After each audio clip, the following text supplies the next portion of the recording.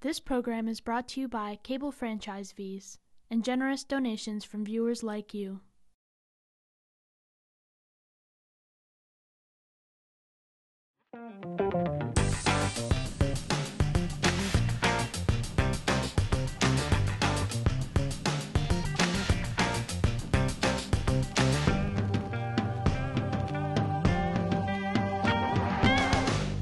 Good evening and welcome back to Byline. This is our public affairs show here at Amherst Media. And we pulled the show together with the help of the Amherst League of Women Voters, uh, who helps us with our programming. They, of course, were the uh, generators of this show along with Amherst Media last year. And it's part of our effort to help uh, our friends and neighbors here in town uh, understand and follow the transition we're going through from our old form of town government to our new form of town government as a result of the charter that uh, was approved um, not so many months ago. And uh, we bring in guests from town government and others uh, sometimes who are working on things that intersect with town government. And today we have the chair of our Transportation Advisory Committee. Yes, Aaron TAC Hayden. for short. Yeah. TAC for short. Yeah. And uh, Aaron, you're no stranger to town politics and, and engagement. Uh, you've been around the track a few times. Yeah, well, it's um, it started uh, with an invitation to um, provide technical support to the planning board many, many, many years ago, and, and uh, that, of course, lasted for seven years, and a little stint in town meeting and the select board, and um, in the course of being um, well, in all, in the course of all of that, um, I'd maintained an interest, and I was working with uh, what, in those days, it started out as a pedestrian and bicycle committee, and became the pedestrian and bicycle and some other things committee.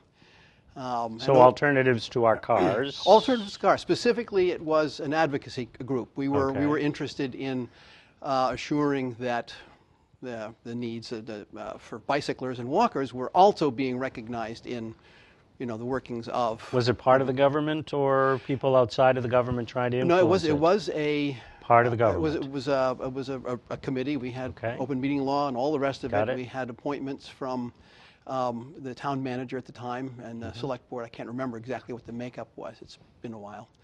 Um, but yeah, so we were um, and we were working in parallel with the Public Works Committee, whose focus was pretty much on things public works, The roads, the fix the roads, the bridges, and everything else.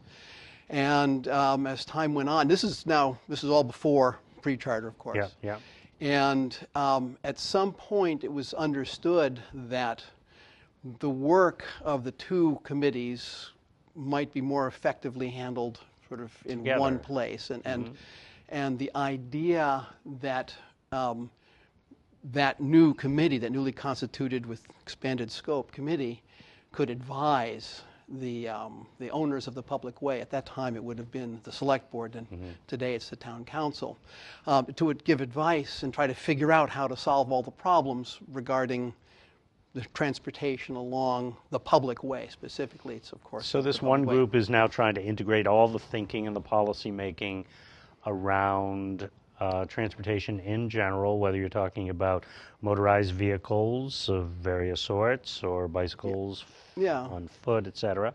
Uh, and but you are- you're only advisory. You don't have decision making power. Well, we, we will make decisions, of course, but no, uh, decisions about the advice that we Right. would give to, and So um, you you do decide things, and when you decide them, somebody else has to say, "We'll go along with that," and or we're going change to do it, it, please. Yeah, exactly. Or change it. Got it. So the the um, uh, so backing a little bit up is that there are.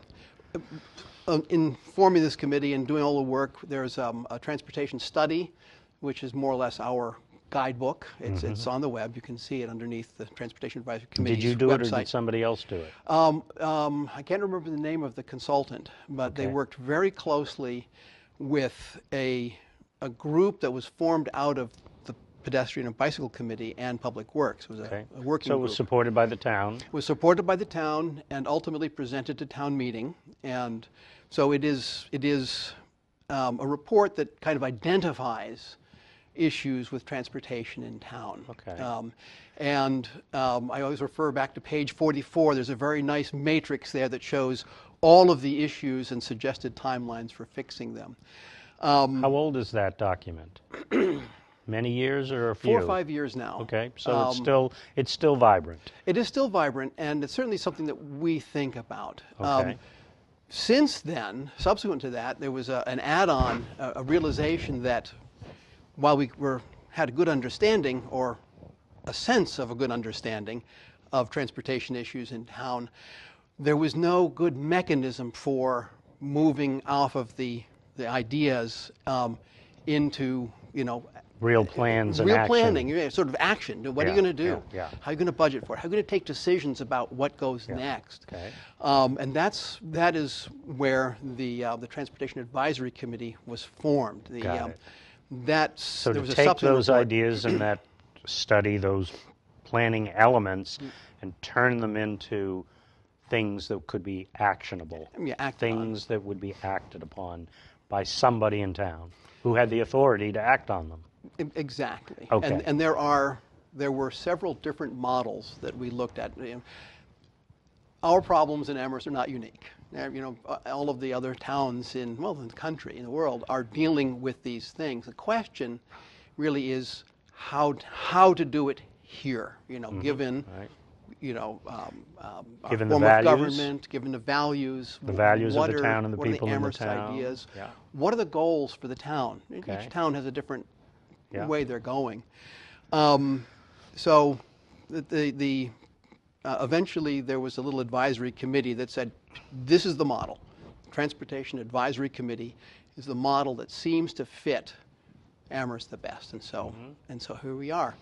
Um, and since then, um, you know, as we've been doing our work, and you're going to ask me about that in a second, um, we have realized. You read my mind. Yeah, it's funny how that happens. Yes, um, we realized that we really weren't talking about the two networks that everybody thinks of. Everybody thinks about cars and not cars. Yeah. And um, in fact, in trying to untangle the issues and solve the problems of how to deal with the roadways, um, there are five networks that we are de- that we're thinking about and have to be accommodated.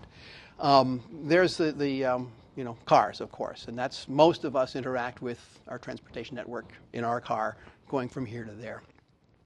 Um, related to the cars are, um, and, and just basic transportation, is, is mass transit.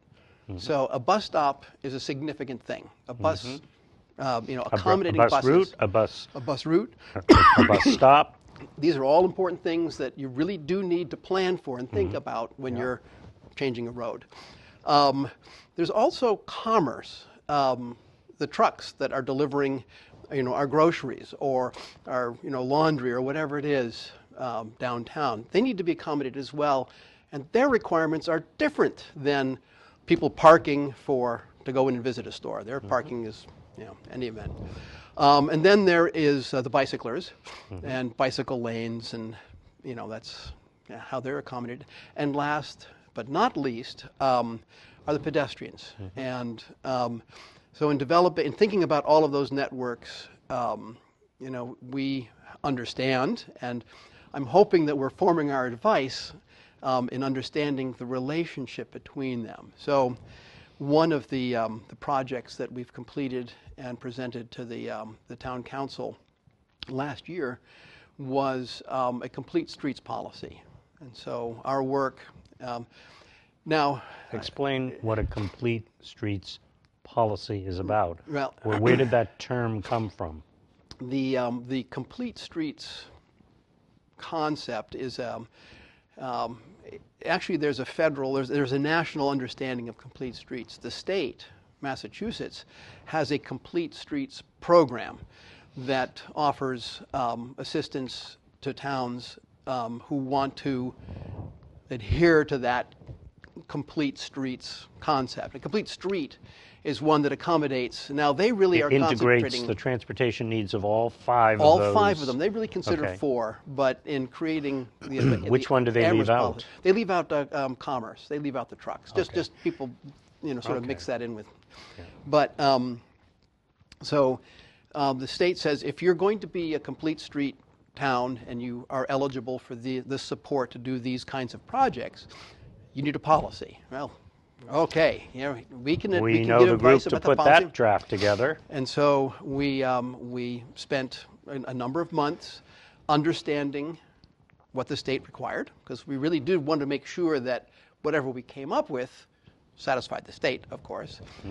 But as importantly, and really where most of our work um, was, um, it was in interpreting those requirements to Amherst. Amherst is not yeah, is, is unique in many ways. I mean, we have some very special challenges here as far as transportation is involved. Uh, something about a large school down the street that doubles our population during the school year, uh, being a significant part of that, which is unusual and unique to us. But every community has their unique aspects and, and elements. And yes. so, yeah. Yeah, and, and, maybe it's a, a little bit, uh, you know, We have, yeah, you've highlighted a, at least one of our One of ours. situations. And there are other communities in the state that have large college populations, so, so they might have some of the Yeah, same. and, and you know, while I, I do So it's not a subscribe to Amherst's pejorative. uniqueness, it's not, yeah. Yeah, it's not a go. And- and- pejorative. It's it's it's It's- the reality of our community and how it's it's comprised and and who's here and when they're here and how they're And- here and- then the values that undergird the community. Well, exactly, and that's that's uh, reading my mind now. Okay. The the Tell other, us about that. The other part of uh, the complete streets policy, and and this these ideas really get into everything that we do at some point. Our complete streets policy includes recognition for. Um, uh, conserving open space and you know, natural resources, yeah. which is not a requirement, but something that we certainly that we value. Sorry about that. Something that we value. Yeah. Um, handicapped access, uh, trees. I mean, Mm-hmm. you know, we really do want to, uh, you know, we understand, we appreciate the support that the Public Shade Tree Committee gets, Mm-hmm. and want to be part of that. So. That's that was one project that, that we've done that kind of folded all of those things Mm-hmm. in. Um, another thing that we're working on um, uh, is a, um, a tool, trying to create a tool that will help us guide um, our advice, our advising. Uh, we, one of our, the functions that we're trying to encourage, trying to in- you know, grow, is our engagement with the public. So, you know, ideas, concerns, um, observations that um, you know our neighbors would have about uh, transportation. You know, we're really anxious to get them and and you know sort of develop our advice based on that.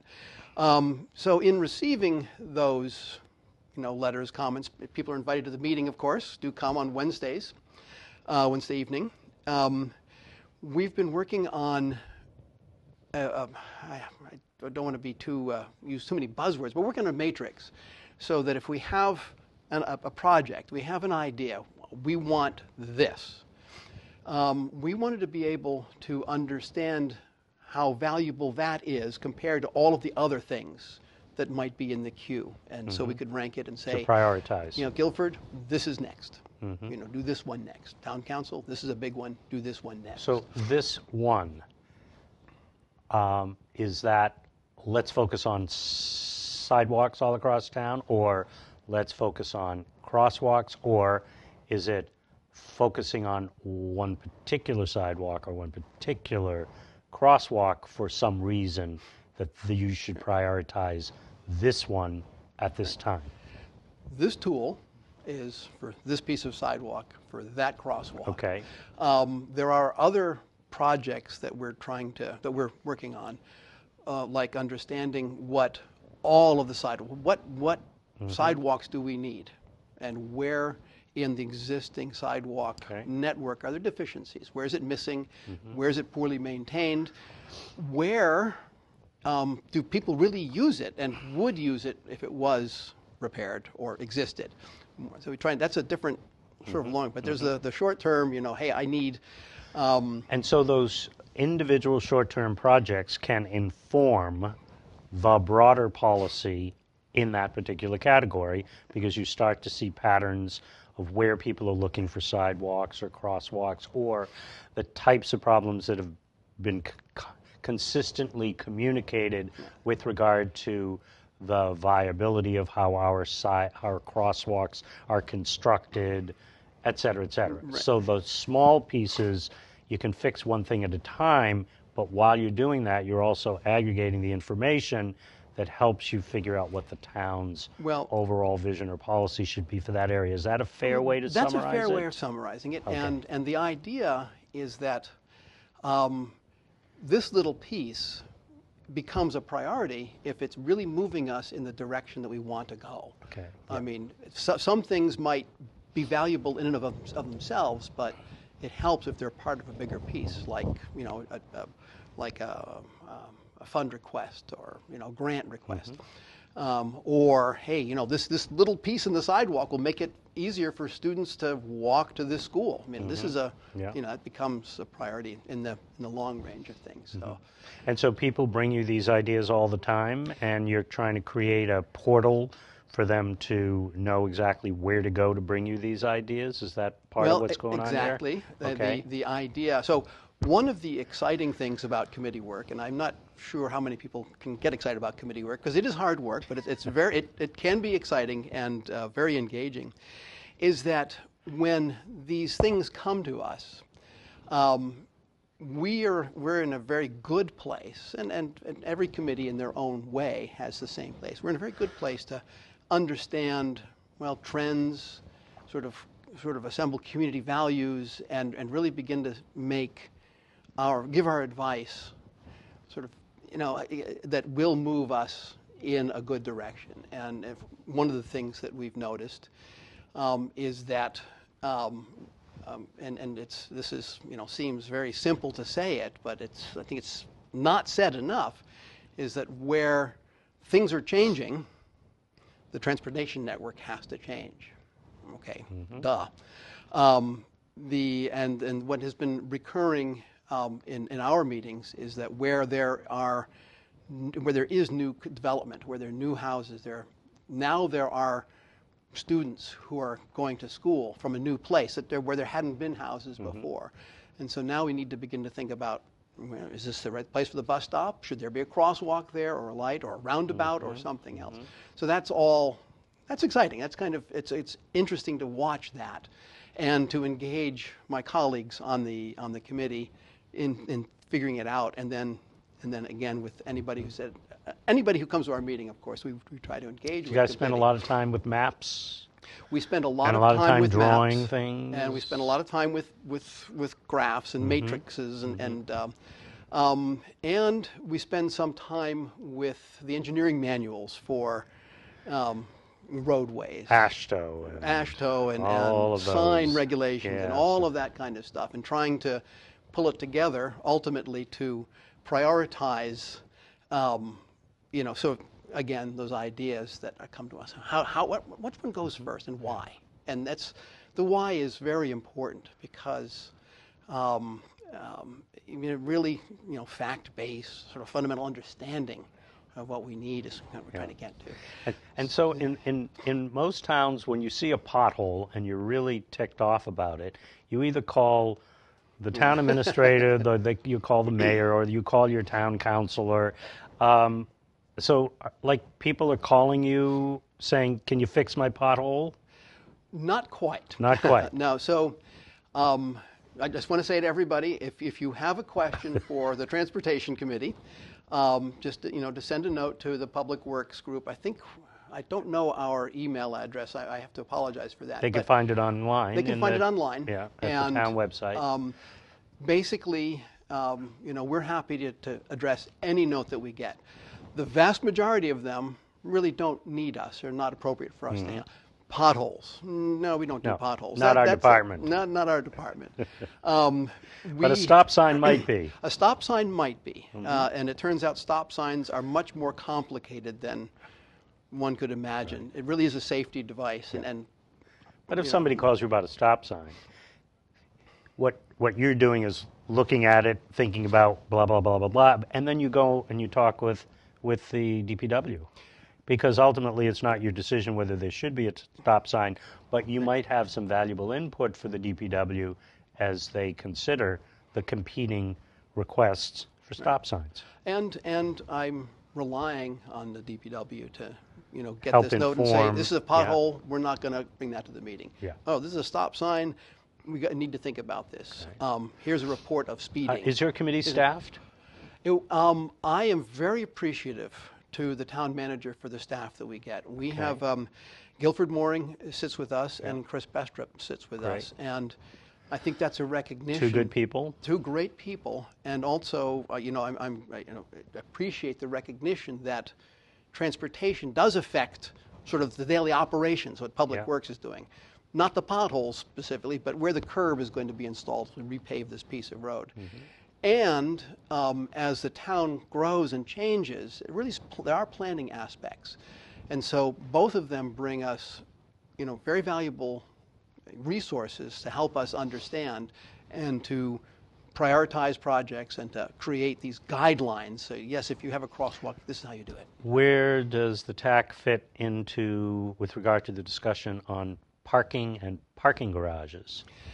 Um, not easily. So parking. Are you in that picture, we're, in that debate? We're not really. Um, there's while our charge includes parking.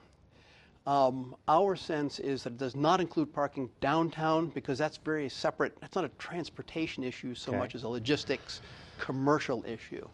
Um, sort of beyond the boundary of, of the downtown and, and maybe out of outside of the town centers. Um, we imagine that there would be a role for us to talk about parking, and in fact, I hope to engage um, in that a little bit, um, where especially where parking interferes with bicycle routes or or, or um, pedestrian. There's some some tension there. Um, but so yeah, we're we're that's that's a little bit beyond us. Um, So you're on the edge of that conversation, but you're not. You, you're not like avoiding it completely. You you realize there's some connection. Yeah, we're looking- But we're it's watching. not. It's not your. It's not at the heart of your work. it, it's, it's, But yes, you have something to. You can have something to say about it along the way. and we may. Yeah. And you may, because it does affect our ability to integrate our transportation networks, as you The call five, them at the beginning, the five. So, um, in the few minutes we have left, can you? I know this is probably going to be hard, but can you pick one or two things that you think are the most critical things that we need as a community to think about in relation to our transportation? Because you know, a lot of people are saying, you know, um, climate change, we got to get rid of those cars, we got to get rid of those um, uh, things that are polluting our atmosphere, and there are choices to be made. You know, um, electric buses are a great idea, but not all buses are electric. Right. Well, the um, so the transportation side, it's a little bit difficult um, to engage with the, the environment side. Really, it's about getting from point A to point B. And Uh-huh. Yeah. yes, But there are um, values inherent in that conversation. uh, very much. And, and and any way that we can support, for instance, keeping a tree alive. Uh-huh. Um, in with a design change, you know, that's that's good. Or you know, improve the amount of time it takes to cross an intersection. Um, that's you know, we're all for that, and I certainly support the idea of converting to electric vehicles, or even making a way for shared um, devices, um, um, bicycles, for instance. Excuse me. Have some water. Oh, that was a good idea. yeah. But um, I know our, our viewers think it's vodka, but it really it, is, it is water. vodka. Oh, that's all. You were not supposed to give that up. the um, our number one our number one concern is safety is the safety of, of the networks not only for the individual for the, the car or the bus or the truck or the bicycle or pedestrian but also where they cross. And so um, that's that's paramount. And then then comes um, very close is also the utility of it. You know it really does need to do what we need it to do. It needs to make it easy for us to get from here to there.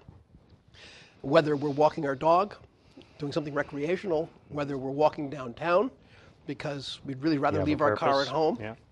whether you know we're going to hop on a bicycle and, and you know ride this stretch on the bicycle instead. that that's all very important, and we a big part of our, ad, uh, our, of our work is advocacy for improving and making more attractive the non automobile transportation, bikes and walking. Really, if we can do that, we solve a lot of transportation problems. You know, bikes take up much less room than cars. You know, now we have room for other things in that that way. So, and that would be an environmental thing. It's also, it turns out, um, a huge health benefit. You know, in this day and age when we're worried about our health and obesity and all, to have um, a place that encourages walking to go f- as about your daily, you know, chores. that's very valuable. So that's Walking nutshell or bicycling, both of which are good for your health. And sort of as a side benefit to that, if if it's a good place to walk or ride your bike, it's probably going to be handicapped accessible. So people who have limited mobility should be able to use those as well. And if they're well designed, you know, the Mm-hmm. it can be done. everybody, yeah. Great. And we really are interested in at getting everybody out there. So. So we got a little over a minute left. Do you Oh, have no. a final point that you would really like to drive home that uh, we haven't uh, emphasized enough for you? Oh yes, hundreds of them. No, re- re- really, in short, you know, keep your cards and letters coming. Do be in, in touch with us. Come to our meetings. Um, join committees. Yeah, it's it's committee work can be exciting, and um, Are there any openings on your committee if anybody wants to do that? not at the moment. Um, there are plenty of other committees. Any for other rotation coming up? Uh, yes, there will be in June. Um, I, I don't remember exactly if it's one or Okay. two or three slots that open up in Okay, June. but so if you're interested, uh, you could Fill out your out an CAF. application, Yep. and and who knows, you uh, might find that uh, one of the existing committee members has decided that they're Enough ready to move on to something else, and uh, and so there may be a vacancy or two. there you go. Well, that'd be great. Well, thank you so much for coming on and, and thank you. sharing your enthusiasm for transportation, thinking, and planning here in town. And, uh, you know, who thought it could be so exciting and so engaging? Well, thank you for making it so. Well, and keep up the good work. Well, thank thanks you. for joining us.